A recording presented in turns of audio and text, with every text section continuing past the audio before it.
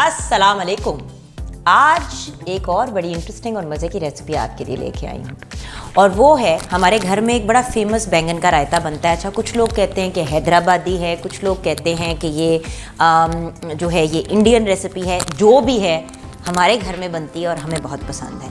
इसको दही वाले बैंगन भी कहते हैं लेकिन इसको बनाने का तरीका बड़ा इंटरेस्टिंग है। नॉर्मली हम क्या करते हैं कि हम बैंगन और डिफरेंट चीज़ें जो, जो सब्ज़ियाँ वगैरह हैं वो सालन में बनाते हैं। रायते में हमारा ज़्यादा खीरा डलता है या टमाटर डलता है। But this is a very मज़े की एंड डिफरेंट रेसिपी और अगेन बच्चों को बैंगन वगैरह खिलाने का एक बड़ा बेहतरीन तरीका है। अच्छा ऑब्वियसली मेरी कटिंग स्किल्स जो हैं वो कोई इतनी ख़ास नहीं है लेकिन कोशिश ज़रूर कर रही हूँ। क्योंकि बैंगन आपको पता है ज़रा स्लिपरी सा होता है। बेसिकली इसका मैं आपको तरीका एक्सप्लेन कर देती हूँ। इसमें इस्तेमाल होंगे बैंगन ठीक है? इस तरह राउंड कट, कटे हुए और पतले काटें तो वो बेहतर है क्योंकि उससे जो है वो फिर ज़्यादा मज़े का उसका टेस्ट आता है। एक बात मैं आपको ज़रूर बता दूँ हमारे जहन में ये एक बात स्टक होती है कि जो बैंगन है ना वो जितना ज़्यादा आप उसको पकाएँगे उसका भरता बनाएँगे वो उतना ही बेहतर है। बट एक्चुअली बैंगन अगर हल्का सा आप ग्रिल करके भी खा लें तो वो बहुत ही बेहतरीन ऑप्शन होता है। सो so, आप ये भी कर सकते हैं। सो so, हमने करना क्या है? हमने बैंगन को पतला पतला स्लाइस करना है और इसके ऊपर मसाला लगाना है। मैं I like to put chaat masala on it is well बहुत से लोग हैं वो चाट मसाला कोई ख़ास पसंद नहीं करते हैं। आ, वो आपकी चॉइस है। बट नमक धनिया हल्दी लाल मिर्च एंड ज़ीरा लगा के इसको एक तरह से मैं सिर्फ़ इसको हल्का सा लगा के ना मैं इसको फ्राई कर देती हूँ। ठीक है? ये फ्राइड हो जाते हैं। अच्छा उसके अलावा फिर एक मैं मसाला तैयार करती हूँ जिसके ऊपर इसको प्लेस किया जाता है। वो मसाला बनता है टमाटर, प्याज अगेन नमक, लाल मिर्च वगैरह लवाजमात के साथ थोड़ा सा मैं धनिया भी डालती हूँ फ्रेश धनिया एंड ड्राई धनिया भी।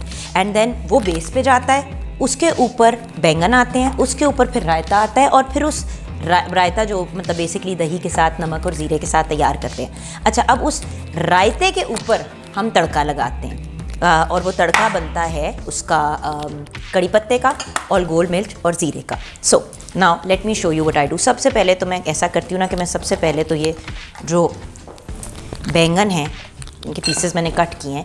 ये देखिए बैंगन के पीसेस मैंने कट कर दिए अब इसको जो है मैंने इसके अंदर डाल के ना इस बोल के अंदर। इसके मसाला वगैरह लगा देना है। जब इसको मसाला लग जाएगा तो फिर मैं अपना दूसरा वाला मसाला तैयार करना शुरू करूँगी। बेसिकली दोनों चीज़ें आप बड़े आराम से साइमल्टेनियसली कर सकते हैं। लेकिन ये रायता जो है, ये मज़े का तब लगता है जब आप इसको यूज़ करते हैं ठंडा ठंडा लोग ज़्यादातर गर्म करते हैं यूज़ ये एक्चुअली ठंडा मज़े का होता है। सो हमने बेसिकली अब इसके ऊपर डालनी है मैं ज़रा दही को भी अच्छा बाय द वे खुला दही इस्तेमाल करें तो ज़्यादा मज़े का होता है, क्योंकि वो हल्का सा खट्टा भी होता है तो उसका एक अपना ही मुख्तलिफ़ टेस्ट होता है। सॉल्ट आपने डाल दिया बैंगन के ऊपर, आपने थोड़ी सी हल्दी डाल दी फॉर कलर मिर्च अगेन आपके अपने कंफर्ट जोन पे है कि आप कितना इस्तेमाल करना चाहते हैं। याद रखें कि ये तीन लेयर्स में इसमें लवाजमात और मसाले वगैरह डल रहे हैं सो बी केयरफुल कि आप बहुत ज़्यादा ओवर डू ना कर दें। ठीक है? अब ये सिर्फ़ इसके ऊपर मसाला लगा हुआ है, इसके ऊपर चाट मसाला भी, सारी चीज़ें मैंने डाल दी हैं। और अब मैं इसको सिर्फ़ इसके ऊपर ना जैसे रब इन करते हैं, ताकि थोड़ा सा ना उसके अंदर सॉल्ट और ये चीज़ें चली जाएँ। मुझे पता है कि ऑड्स की आपको कॉम्बिनेशन लग रही है बट हम तो इसी तरह बनाते हैं, मैंने भी बचपन में बनते हुए इसी तरह देखा है। तो आप इसको ऐसे से, अच्छे से ना इसके ऊपर मसाला लगा दें। ये हमारा स्टेप वन है, जिसको फिर हमने फ्राई करना है ऑयल के अंदर। और उसी के साथ मैं साइमल्टेनियसली जो मसाला तैयार करूँगी जैसे सालन का नॉर्मल किया जाता है टमाटर और प्याज के साथ और धनिए के साथ वो भी तैयार करूँगी। So will go step by step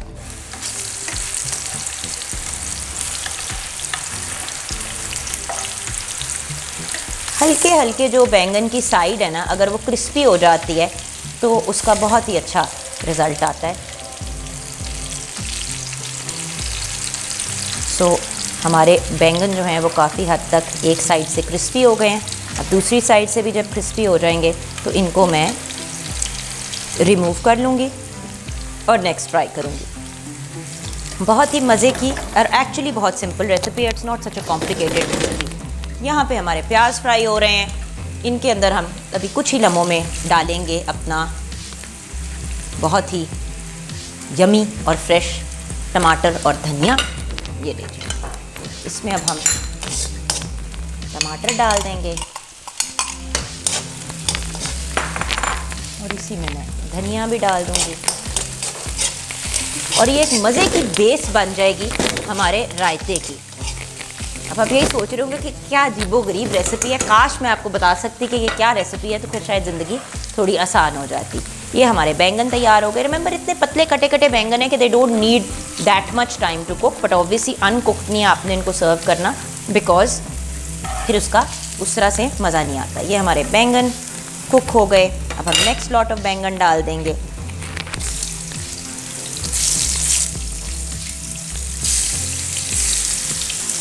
ये वो वाली चीज़ है जिसकी बाकायदा मेरी फ्रेंड्स रिक्वेस्ट करती हैं कि यार, जुगन, बैंगन वाला रायता प्लीज़ बनवा देना। So the point is it's one of those things that I love making also मेरे घर में भी बड़े शौक से बनाते हैं सारे। बिकॉज़ वही वाली चीज़ है ना कि चीज़ बनाओ ऐसी फिर जो हर बंदा इन्जॉय भी करे। अब ये आप देख रहे हैं।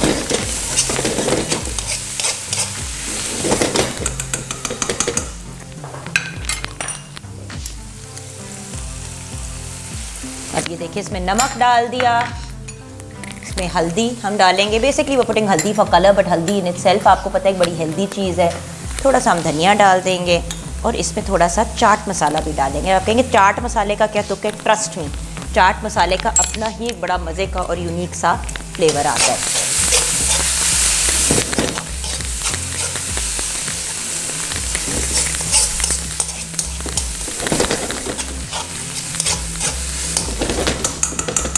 आई नो कि इसमें तरद ज़्यादा है, लेकिन इस तरद दिस तरद इज़ वर्थ इट ट्रस्ट में हल्का सा आपने उसको पानी लगा दिया, ताकि वो अच्छे से जो है वो मिक्स हो जाए ब्लेंड हो जाए।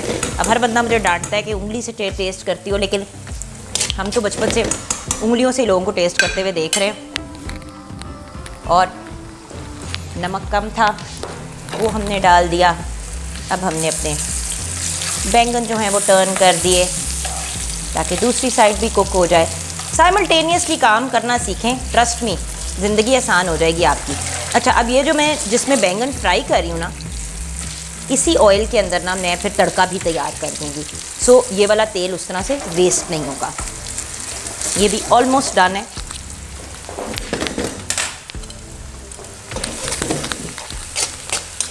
ये हमने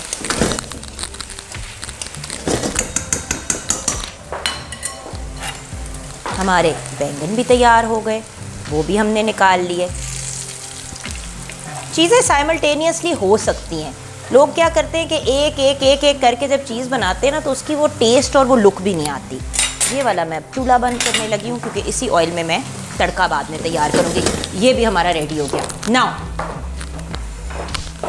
ये आ गई हमारी डिश जिसके अंदर हमने इसको सर्व करना है। So now I will show you कि कितने मज़े से और कितनी आसानी से।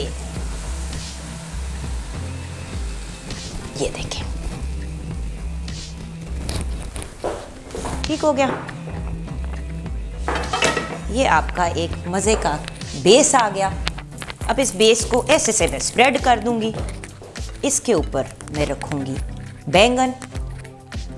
और इसके ऊपर फिर हम अपने योगर्ट का मिक्स बनाएँगे। बट योगर्ट के मिक्स में अभी दो मिनट लगेंगे। उस मिक्स के बाद फिर अच्छा दही दही के अंदर हमने सिर्फ़ नमक चाट मसाला और साथ में हमने डालना है आ, नमक चाट मसाला एंड उसके साथ साथ हमने ज़ीरा भुना हुआ ज़ीरा। बट ज़ीरा हैज़ टू भी भुना हुआ वो भुना हुआ नहीं होता ना तो उसकी फिर वो वाली आई मीन मज़ा नहीं आता। और ये तैयार करते या तो आप सर्व कर दे ऊपर आप ठंडा दही डाल देंगे तो वो फिर आपको ठंडे करने वाला इशू नहीं रहेगा। ये देखें, ये हमने इसके ऊपर अब बैंगन डाल दिए, ठीक है? अब योगर्ट। दही के अंदर हमने सॉल्ट डालना है, ठीक है? नमक आ गया दही के अंदर। उसके साथ साथ हमने ज़ीरा डालना है और हमने chaat masala it's actually a delicious simple uncomplicated recipe जो हर बंदा बना भी सकता है, उसे इन्जॉय भी कर सकता है और फिर आपकी फ़ीडबैक भी हमारे लिए बहुत इंपॉर्टेंट होती है। सो प्लीज़ साथ साथ फीडबैक भी शेयर करें। हम्म। ठीक है। थोड़ा सा इसमें मुझे नमक कम लग रहा है, वो हमने डाल दिया। अच्छा अब हम इसके ऊपर से ये योगर्ट का मेज़ा डाल देंगे। ये लें जी। बहुत ज़्यादा ओवरडू नहीं करना, इतना डालना है जितने की आपको ज़रूरत है। ये आपका हो गया योगर्ट। ठीक हो गया। अब आ गए हम अपने फाइनल स्टेज की तरफ़ विच इज़ द तड़का, ज़ीरा, गोल मिर्च एंड कड़ी पत्ता। That's all you need